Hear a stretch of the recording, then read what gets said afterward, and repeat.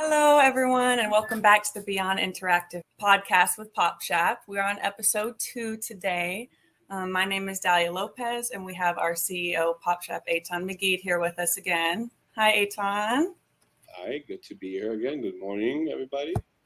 Yes, and we're very excited for today's episode because we have a special guest, Mr. Mel White, um, VP of Marketing and Business Development for Classic Exhibits. Hello, Mel. Hello. Good morning. Alrighty, so to start off this podcast, Mel, can you just give like a quick um, description of what Classic Exhibits does?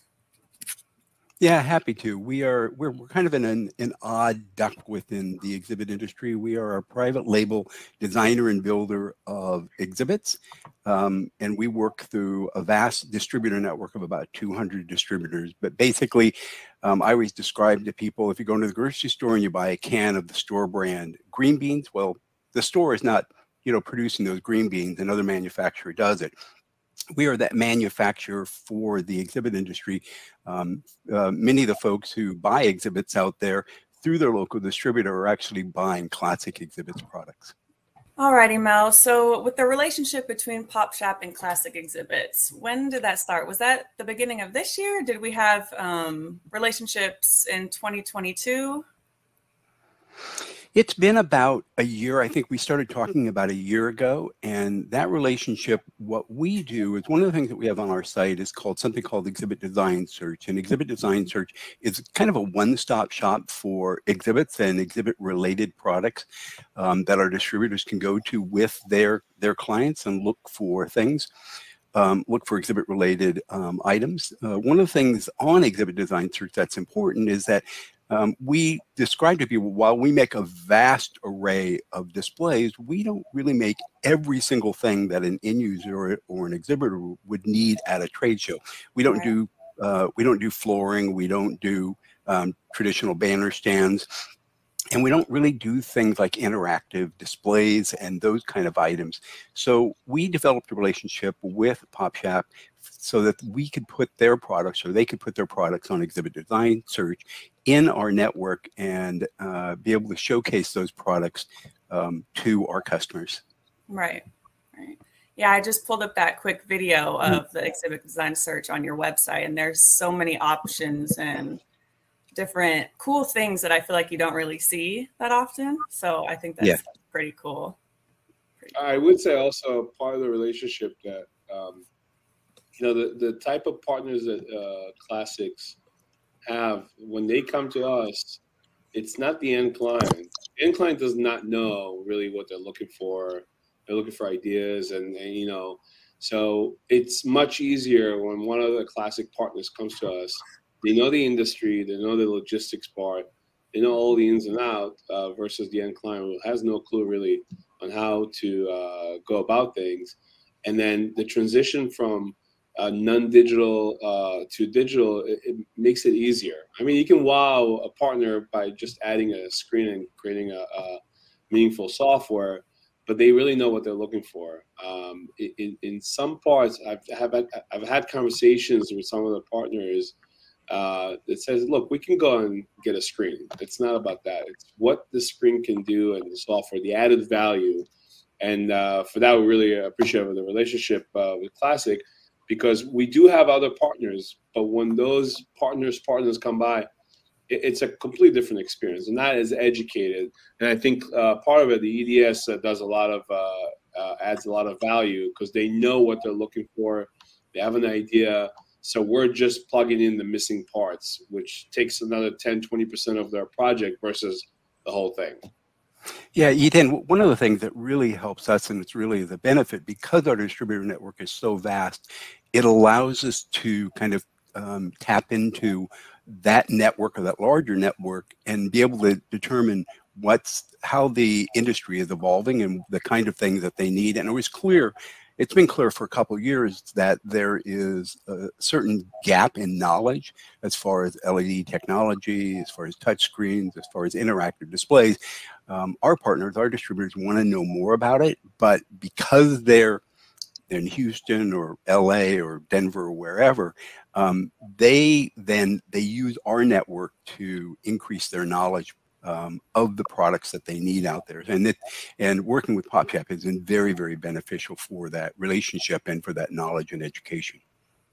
Yeah, I, I wanted to, you know, jumping into that, kind of backstepping and what's happening in the industry, because I always like to hear from the back of the house, uh, someone who's in the industry, what we've been going through is semi growth and and madness. We all know how this year started and the signs were there last year at the end of the year, right? We all knew it was going to be a, a, a, back to normal year, but I think it's even more than that. If you ask me, it's the back to normal plus the excessive budgets that were there because of COVID now being placed, and and I wonder what your uh, experience has been like in the in since the beginning of the year.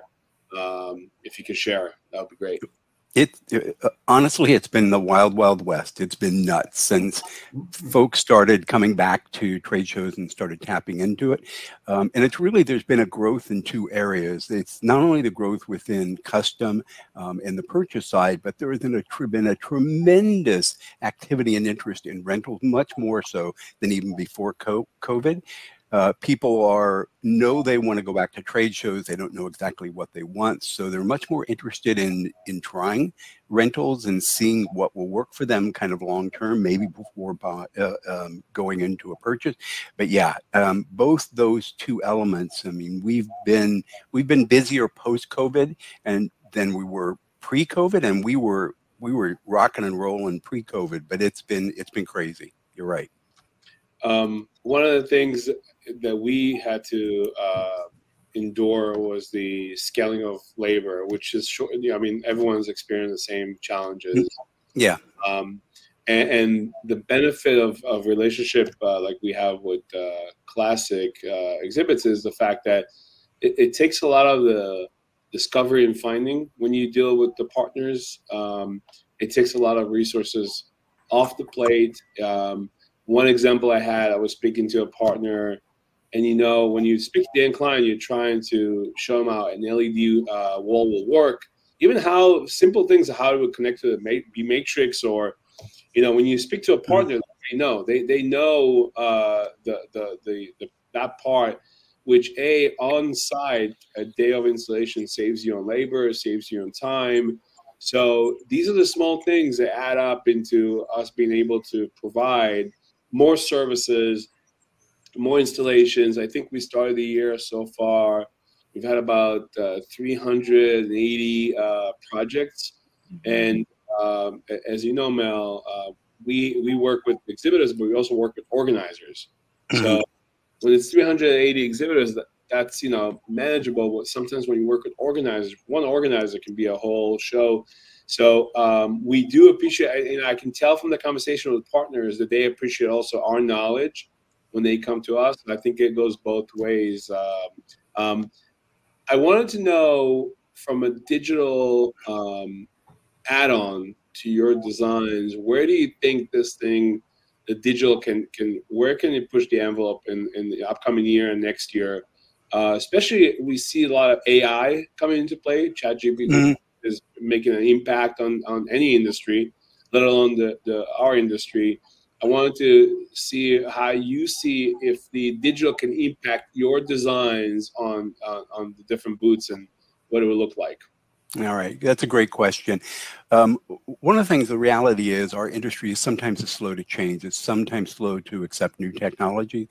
I've learned that having been in the industry for over 20 years is, but once they grasp it, once they accept it, then it becomes widespread very quickly. And I'll use the example of a non-digital um, technology, and that's fabric graphics. So fabric graphics six, seven, eight years ago, and really SEG, that form of graphics, it took a little while. It was popular in Europe. It was not as popular here. But once people finally understood the benefit of SEG and fabric graphics, then it seemed like everybody wanted and everyone kind of grasped it. Um, I think the same thing is happening with digital. Um, there's a little bit of a learning curve and and an expense um, portion of it as far as the cost of digital, but and and as a result, folks are a little um, cautious about jumping into the, the digital world. I mean, they'll do it they've been doing it a little bit in the past by creating videos. I mean, every, I mean, let's face it, almost every booth now has a monitor in the booth. And you have to have content for that monitor or that display out there. So people are approaching that portion of it eagerly.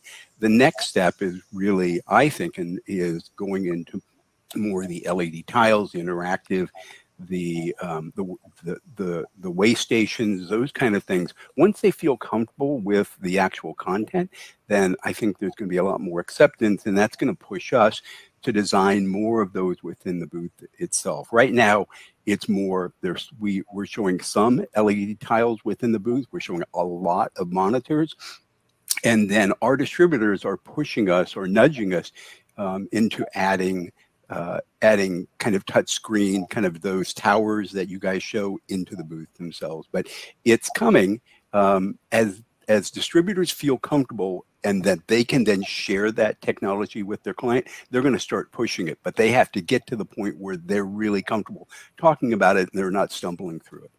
And you know, you made a great point about budgets as a, as a whole. Um, I think we all know the challenges of the financial markets and what impact it could potentially have on the trade show industry. Um, you know, where budgets could tight up, you know, especially for SaaS companies that are a big portion of our portfolio. I think 35% of our exhibitors are SaaS and software companies that are impacted by the changes in the global financial world. So, um, one of the things I loved, um, and I think I shared it with you uh, a few days ago, that I have a friend of mine that we, you know, he asked me for a couple of kiosks for a 10 by 10. It was a New York build show. And um, I said, let me help you and try to put a design together. And uh, I think he reached out before he came to me, he reached out to about three different exhibit houses. And they were not, I wouldn't say they were not interested in a 10 by 10 work, it's just not their priority right now, uh, being so busy. Um, and he was looking something for something affordable, something that can combine digital. And I said, you know, you got to go call Kevin uh, uh, from a classic and, and, see what they have. And and he did, and I think the results uh, were great. Dalia will show that in a second. Um, not only the, the the booth looks great, I think one of the things that uh, really comes out is the digital and the design combo in this booth. Um, you, you, know, some might say two kiosks were overkill, uh, mm-hmm. but they were really busy. They used these kiosks as uh, demo stations. Uh, I think they collected over 800 leads using the kiosks. Um, you know, they had a staff of four people constantly using them. So I think that the digital here was very complementary to the 10 by 10 design and very cost effective. You know, some say, oh, at 10 by 10, I don't want to break the budget. This is a great example of how you can keep a budget, uh, but still look very uh, uh, attractive. Um, you know, the, the, other advantage they had is that they were the only ones that this small show with interactive kiosks. As you said, people are still getting uh, uh, uh, acclimated to the idea of, of more interactive. Um, and obviously, we have the, the screen in the background, which was also a branding uh, uh, uh, marketing screen. But I thought from affordability and budget, you your system, your platform has everything for everyone, not just the, the, big companies that are looking for a, wow. I think that's a great a testament to your services that anyone can come and, and create a, a, a, booth like this that looks digital and uh, very attractive. And that was a great photo. You can the the background, obviously your kiosk on the front, but in the background, that was one of our portable systems, the the Symphony, um, with a very. If you look at that, it's got the kind of curve back there. You're seeing a lot of that. That that's a great example within the portable world of what you can get now within systems. Um, folks out there who have bought portable systems in the past and they kind of associate them with kind of rectilinear, kind of boring, kind of junky looking displays out there. Um, this is this is the future. This is where this is a, right now. This is our most popular portable product. Um, it's a modular system. You can go from a 10 by 10 to a 10 by 20. There are squares, rectangle curves um, all a whole variety of items in there. And the nice thing is you'll notice that there is a monitor on the background, and that's a real difficult challenge for a portable display. But that system, because it uses engineered aluminum extrusion, is strong enough to support that monitor. And I love the balance and the look in there that they've got the monitor that's more passive in the background and then the interactive kiosk out front. And I, I would say I, I was there when they backed it up. Every booth around them was shocked that this whole thing was two cases for the display, one case for the kiosks, and it's going to the next show, right? Um, the booth next door, I believe, uh, already contacted Classic because uh, they, they they they couldn't believe, you know, logistics is big. We know, you know, mm-hmm. the, the the cost on logistics and labor are just going to keep going up this year, yep. next year. So the ability to fold this thing into two cases or rolling uh, and, and, ship it via UPS, you don't even need freight for that. Um, is a big advantage for 10 by 10 companies are try and get into the trade show world. But I did also like about this design that if they went to a 10 by 20, all they would have to do is duplicate the same thing and get yes. it set and, and, and the kiosk just spread out. Um, so I thought it was a great uh, solution. And, and, like I said, affordable. I think they had it within 10, 14 days, which was incredible. Um, mm-hmm. So everyone was happy. One of the things that I, I do see, uh, and I, I, wanted to see if, if you if you share the same sentiment, um, with the growth of digital, I feel like furniture and things in the middle of the booth are, are kind of moving to the side. It's more becoming more digital world where uh, the end clients and even the partners believe that there's a better ROI on, on, on the digital. I, I, love the combination of both, uh, but I, I've seen digital moving to moving out, you know, the furniture out a little bit from the center, not the uh, outskirt. I want to, uh, to have you share your, your, your thoughts about the whole uh, movement there. I have really strong opinions about rental furniture and about furniture in the booth. Um, it, it, historically, for many, many years, uh, exhibit consultants would tell you not to put furniture in your booth because if you put furniture in your booth, then the the staff would sit down. They would not engage with clients. That it was it was uh, a no no. It was the same like don't eat in the booth, don't have furniture in the booth, don't do those things. That has really changed, I think, within the last five or six years because there's a there's more of a sense that you want you want um, attendees to come into your booth. You want them to relax. You want them to sit down, um, have a longer conversation. Even the addition of things like wireless chargers, um, so people can charge their phone. To do all of that, the that whole experience of furniture and the interactive, adding the kiosk. What you're doing is you're trying to engage people to linger within your booth. Um, the clients so that you're you're actually have enough time to determine exactly what their needs are, what their wants are, that it becomes a very warm um, lead post show as opposed to handing off, you know, a, uh, a scan of someone and then the sales department is reaching out to them and they don't really have any information. That really allows them to have a much more meaningful experience with the client. And the, the thing that I loved about the booth that you guys showed before is, is it's doing a couple things that's blending really well. Is that there is um, a trade show is not a passive um, experience. And while we're all comfortable with the world of digital as consumers, it that's really tends to be kind of passive.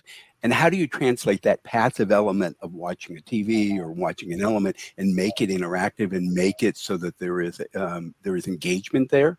And that particular booth, yes, it did have the monitor in the back, but it had your kiosk there. So it translated both that, that passive entertainment engagement so that people were interactive. That's really, that's a tough transition for many exhibitors right now. They want their booth to be interactive, but they don't know how to do it. And things like a ready-made solution, like a kiosk like that, like that, allow them to do it. Uh, some will say, okay, I need to have a game or I need to have some kind of contest. And those are all great. Those are all fun to have in there. But anything that's interactive will allow you to have, uh, as I said, a longer, more meaningful conversation with the attendee. And and follow up to your point about the games and and and the activation, uh, I feel like when we do a booth and we have those, uh, we've had the matching game, which is a big hit. Mm-hmm. One of the reasons is a competition and people want to beat each other's scores. But for the exhibitor, one of the values of that is the fact that the attendee keeps coming back to the booth and spending yeah. more time. Now, when they're spending more time and they return, you, like you said, you have to evaluate if this is a good candidate for you to follow up. Uh, I think the furniture do have a place, uh, especially if you add the digital values like chargers or maybe some screens and whatnot for your branding. But you do need a place to to have them sit and relax and feel more comfortable. The longer the conversation is, we we have a, a, a mini study on that. The longer the conversation, the more comfortable the conversation, it's like a club. You know, when people look at your booth, say, oh, you know, this booth is busy. People are hanging out there all the time. I'm gonna go check it out. So it has an impact on other attendees. Um, so and and I'm gonna transition a little bit from that point to our interactive games um, and, and, activations. When I go into EDS and I look at some of the designs and I speak to the partners, one of the things that we do at PopShap is we try to complement our activation widget software into the mm-hmm. whole theme of the design. Uh, yes. kind of tie it up together. And um, I've had several conversations when I, I, looked at the designs that the partner chose, and I said, "Well, we should do this." And it's like, "Well, it's a great idea." And you know, it, it just a, a, perfect marriage. Sometimes you just look at the overall vibe, uh, and I think uh, to your point, that's why that booth works. There's a path into the overall design. There's interactive uh, displays. Um, I wanted to to ask the you know the the kind of the million dollar question in the industry. Um, so as as partners expand their reach into different uh, tar- different targets and different shows and and and and this thing just scales up and grows. One of the things we've done we added uh, new products right? We, we introduced new products whether it's in the led arenas interactive. What does classic uh, future product look like? If you can give us a glimpse without uh, sharing any secrets what does the next year uh, year and a half look like uh, for classic in the industry well, I think part of it is there. I think if you've walked the show, you've seen that there is there continues to be a growth within uh, backlighting with backlit exhibits. Um, there, you have to do those backlit exhibits, and you have to do it. I think one of the things that we're working on is making that even easier, being able to backlight um, smaller displays like 10 by 10s and make that um, fairly simple for clients to make that happen. Uh, so we're working on that. We're doing a lot of R&D on some backlighting solutions. The other thing is to continue designing uh, um, designing exhibits that have as you said, Eitan, more kind of digital experiences, whether it's LED walls or it's monitors. I, I, I have to tell you, one of the things that I've I told folks a couple years ago, and I've been saying for the last few years, is my biggest fear, and I'll probably be retired before that ever happens. One of my biggest fears is that at some point for classic exhibits, that you'll walk a trade show and every single 10 foot booth will simply be a, a 10 foot video wall in the back wall.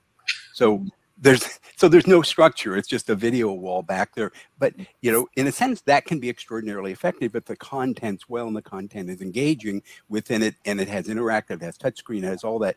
Um, at some point we may be the the digital portion of the industry if it really dominates may um, pose a, a challenge to folks like us who are designing exhibits. But i think that's it's great if that can happen out there. But it, yes is and part of that part of that challenge that I'm going to go into is the, the rental world. The two, the rental world, um, uh, putting more of that digital, being able to change things up from show to show and have that happen.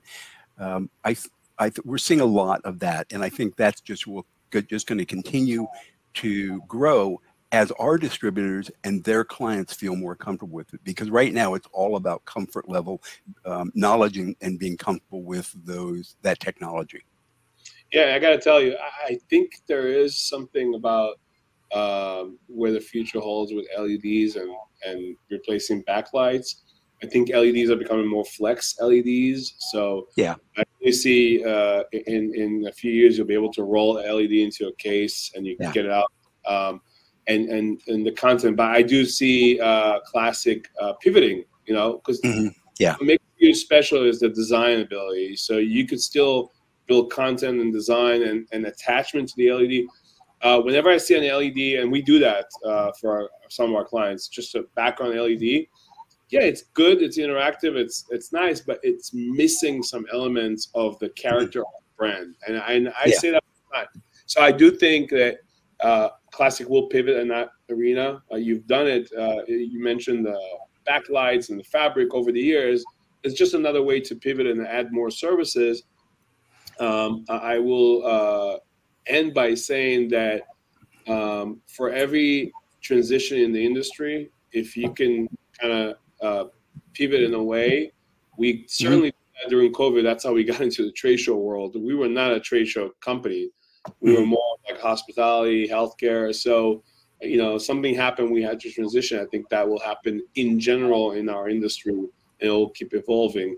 Um, one of the things I wanted to finish with is uh, Exhibitor Live is coming soon in April in Louisville. Uh, I know uh, um, uh, Classic will be there. We will be there.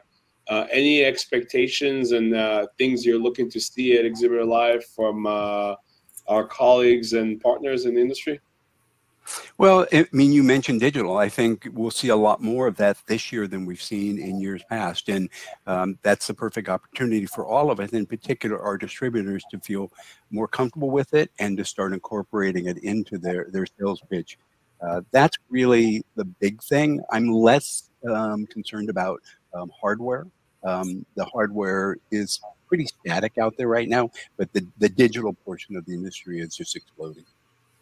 Agreed, and I think it's going to be. Um, we were there for Expo Expo in Louisville, and first I had my reserv- reservation from the location, but once I got to Louisville, I was like, "This is a perfect spot." You know, it's hard to get to, but once you're there, it's very accessible, and I think it's going to be a great show.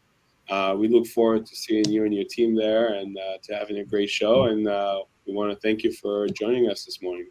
Appreciate it. Yeah, well, thank you. Um, PopShap has been a great partner for uh, Classic Exhibits, and we appreciate um, your knowledge and the information and everything that you share with our distributor network. It's really meaningful and valuable. Thank you so much.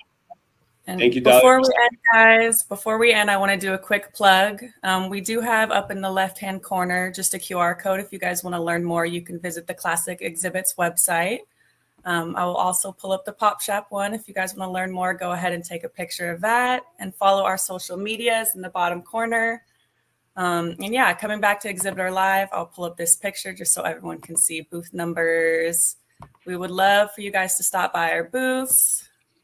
Let me see, Classic Exhibits is booth 1119, and we will be at booth 417.